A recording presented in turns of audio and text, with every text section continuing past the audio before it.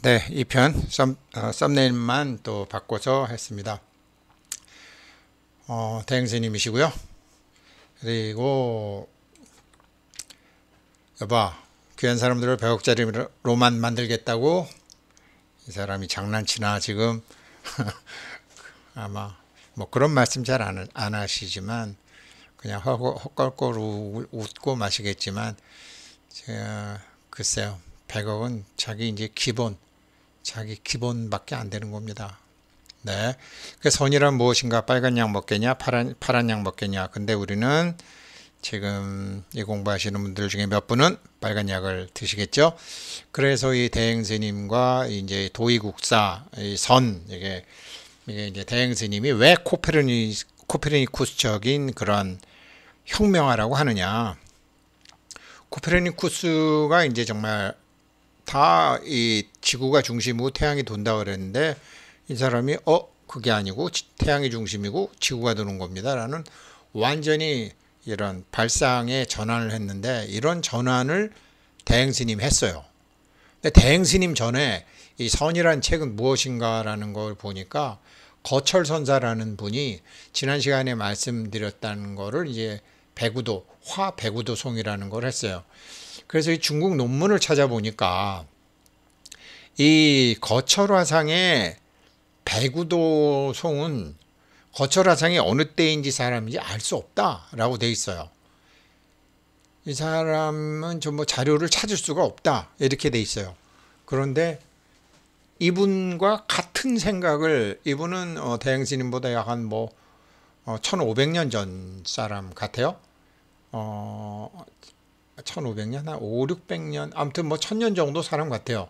그런데 이분은 누군지도 모르겠고, 그런데 이 책에서도 이분, 이 거철 선사에 대한 거는 포인트를 못 잡았나요? 이게 저술이 아니고 엮은 거, 엮은 거기 때문에 아마 그 장순영 선생님이 그렇게 하신 것 같은데, 대행스님, 이 거철 선사의 시무도는 이렇습니다. 잘 보십시오. 처음이 소를 잃어버렸습니다.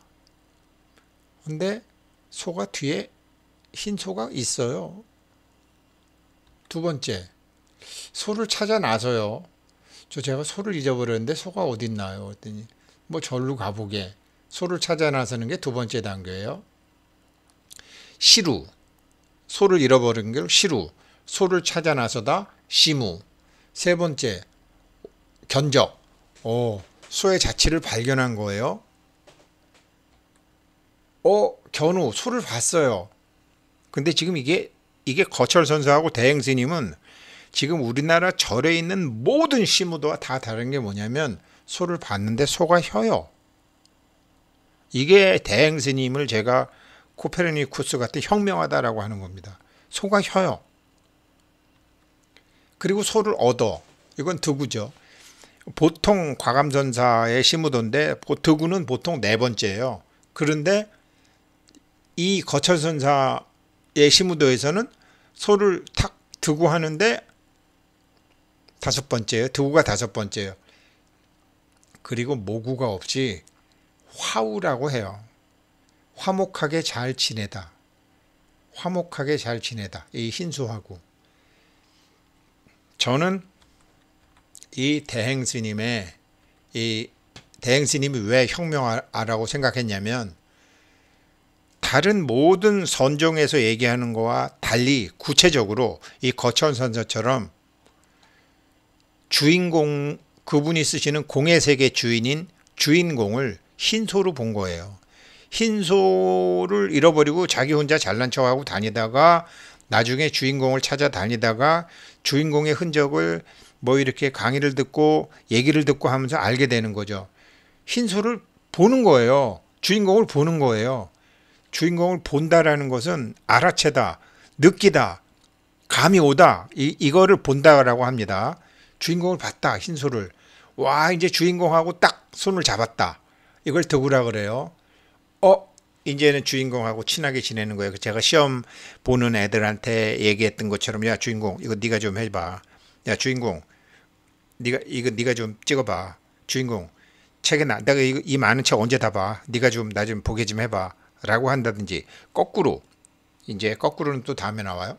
그래갖고 주인공하고 잘 지내가지고 주인공 등 위에 올라 앉아갖고 피리 불면서 땡까땡까 하는 게 기우기가가 거철 선사의 일곱 번째 시무도예요. 여덟 번째 아 이제 뭐 주인공 없이도 혼자 다 해도 아까 종심소욕 부류구처럼 그냥 주인공이라는 생각 안 해도 어차피 뭐 내 몸이 있을 때 주인공이 있는 거고 내 몸이 죽으면 주인공도 가니까 내가 주인공이라는 걸 이제 아, 는 거니까 친하게 지고 뭐 이런 게 없는 거죠. 자기 자신이 완전히 주인공이 돼버린 거죠. 망우 하나가 된 거죠. 그리고 이제 주인공도 없고 나도 없는 정말로 이제 이게 절대무 부처님 가운데 토막이라는 소리 있잖아요. 부처님은 자기네 아버지 나라가 망해도 손끝 하나 깜짝 안 한 사람이에요. 세상 일에 개입을 안 하고 단지 지켜만 보는 거죠. 그게 아홉 번째. 그런데 아, 또 그럴 수가 없으니까 다시 주인공을 야 주인공 나는 이거로 만족하지만 다른 사람들한테도 좀 진실 속에서 살 수 있게끔 음? 우리 그 플라톤의 동굴 밖에 동굴의 비유처럼 이제 다른 사람들도 그냥 뭐 동굴 속에 살겠다는 사람 할 수 없고 동굴 밖에 나가서 살겠다 나가서 진실을 알겠다는 사람 매트릭스에서 빨간 알약을 먹고 정말 사주도 넘어 운명도 넘어 자기가 자기가 선생님들에 의해서 부모에 의해서 환경에 의해서 배우자에 의해서 중독된 자기로 살다가 깨어난 자기로 살겠다는 사람들 그 사람들 나처럼 고생시킬 필요 없잖아.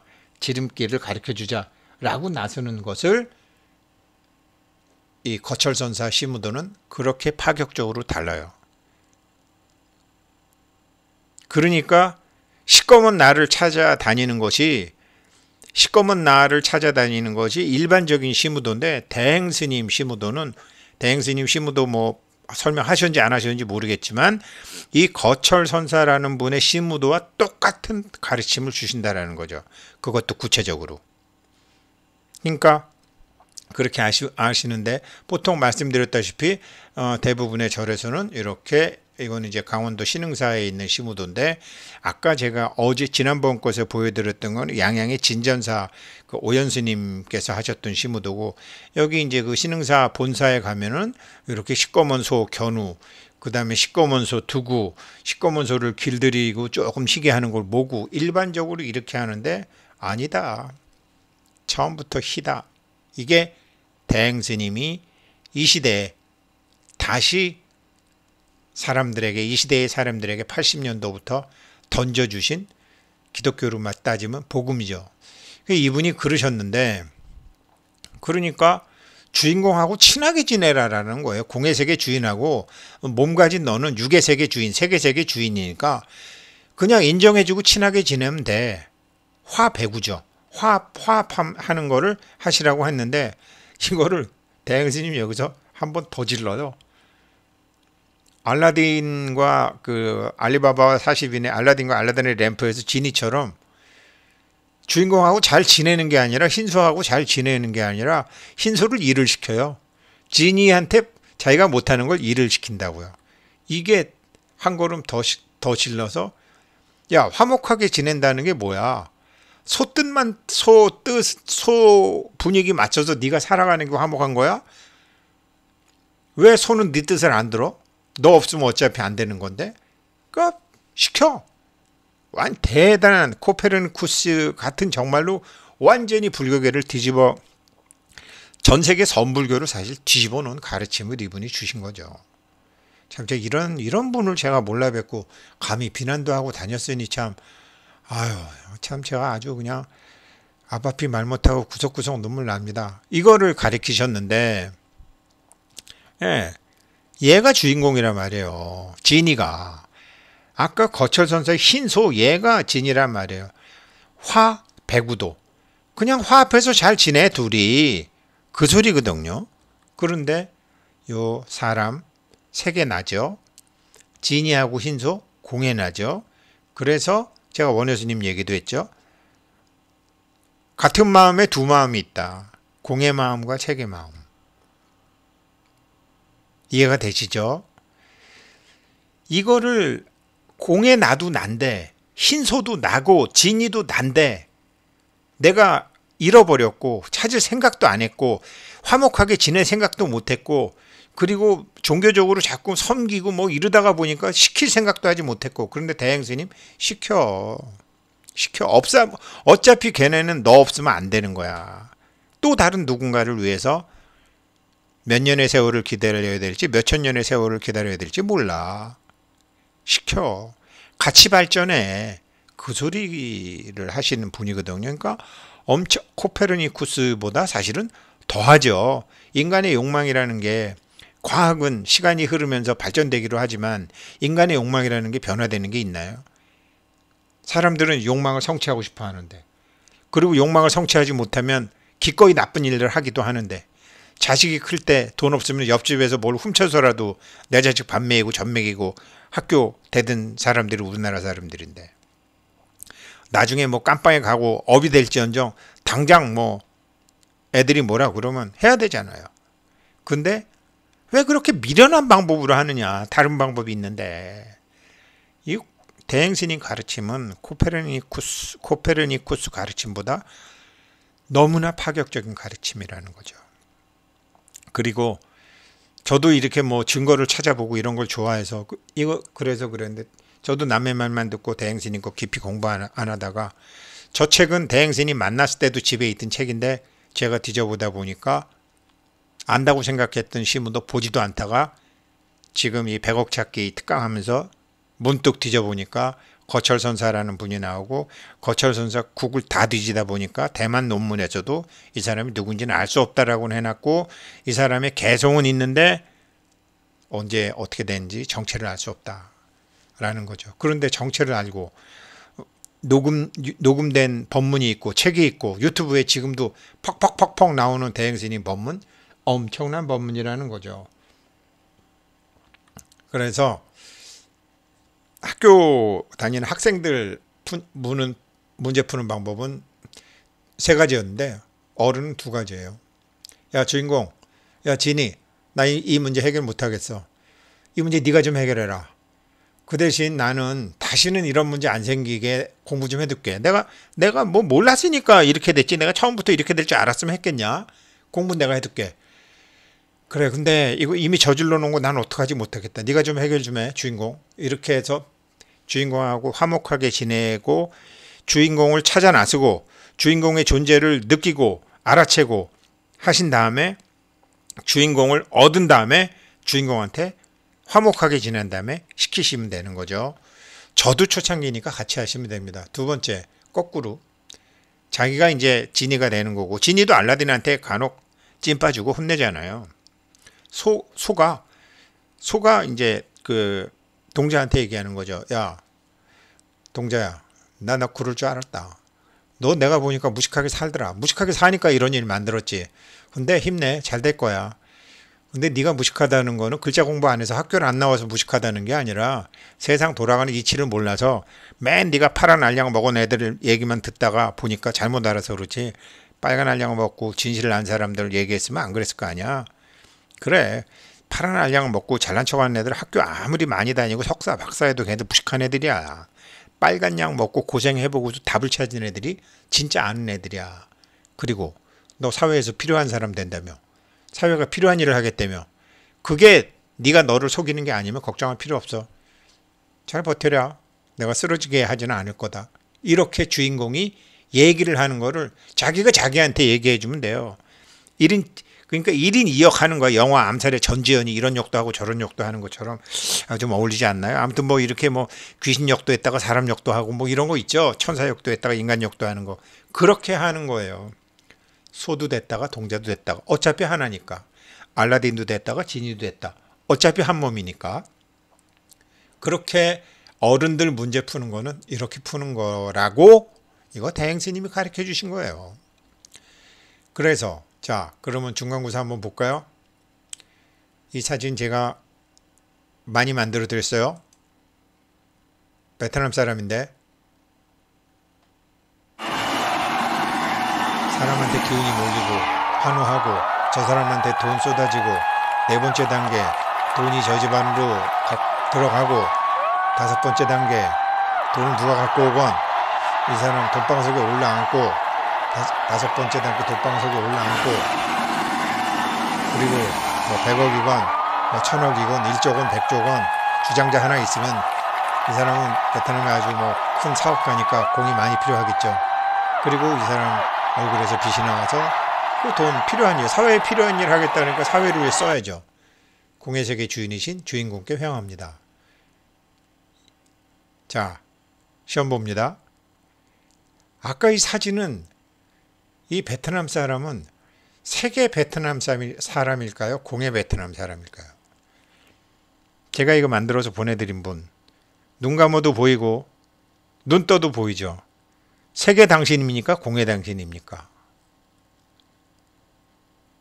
세계 당신입니까? 공의 당신입니까? 공의 당신입니다. 아, 세계 당신입니다.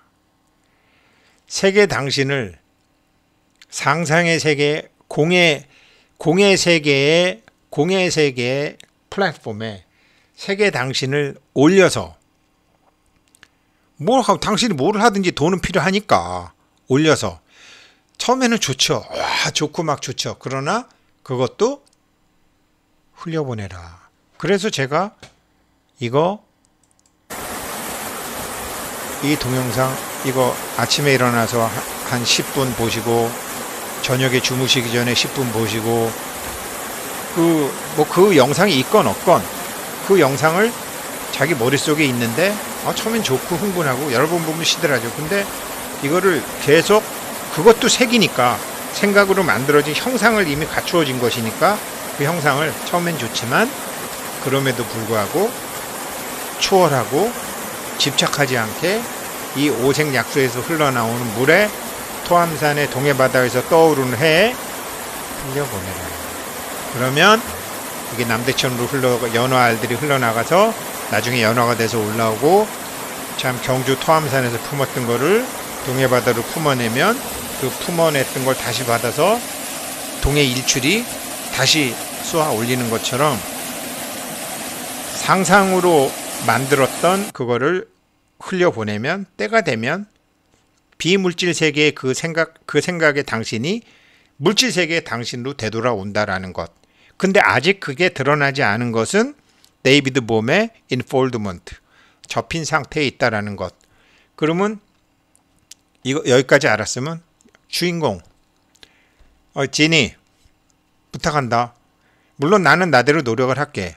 근데 만들어서 다 키워서 좀 올려보내라. 연어 애들 올라오듯이 그렇게 하시는 겁니다.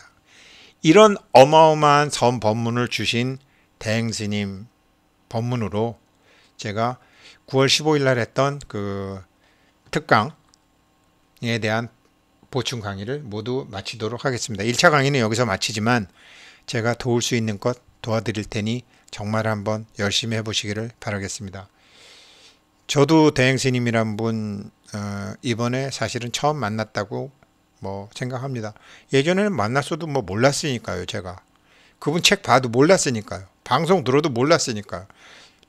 웃기는 여자 스님 정도로 생각했었으니까 제가 얼마나 한심한가요. 반성하고 참여하고 할 수 없죠. 모든 게 다 때가 돼야 되나 봐요. 아무튼 이런 가르침을 듣는 여러분들은 이제 100억을 받으실 때가 되셨다고 믿고 그것이 실현되도록 제가 최대한 돕겠습니다. 특강 여기서 마치겠습니다. 고맙습니다.